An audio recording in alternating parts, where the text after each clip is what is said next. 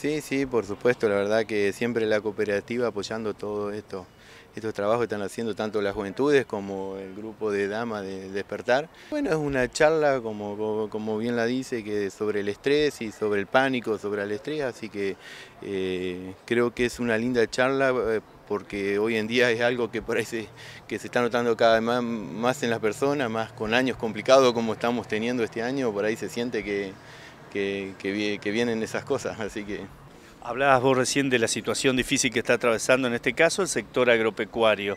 ¿Cómo están viviendo los productores de la zona esta sequía de importante, por cierto? Sí, complicado, la verdad que cada vez que, pasan los días se está agravando más la situación, hoy se habla de un 50-60% de pérdida en general,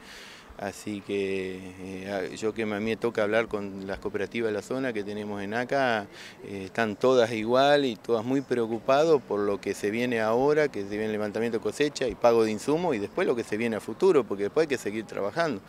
Entonces la situación es muy complicada y compleja, así que estamos trabajando para buscar la mejor solución y que podamos seguir los productores. Y generalmente el sector cooperativo que hace un poco de contención anímica, pero también un poco de entidad crediticia, cuidando la espalda del pequeño y mediano productor. Sí, por supuesto, es que las cooperativas se basan del pequeño y mediano productor, así que eh, cautos, esperar, hay que esperar al levantamiento de la cosecha, que es lo que se va a levantar, y después buscarle todas las soluciones para que nuestros productores sigan trabajando,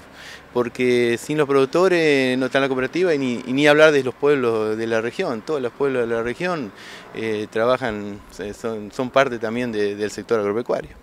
Rosa, por parte del Grupo de Mujeres del Despertar, me imagino que está viviendo de manera muy especial estos 50 años la cooperativa, ¿no? Seguro, hace tanto tiempo que estamos en el grupo, yo soy una de las que está, de las primeras,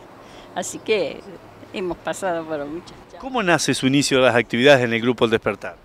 Bueno, porque yo, en cierto modo, pertenezco al campo, vivo en el pueblo, pero me dedico a la hacienda, así que ya tengo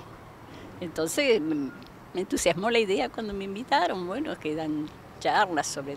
sobre todas las cosas, ¿no es cierto?, lo que la gente de campo necesita.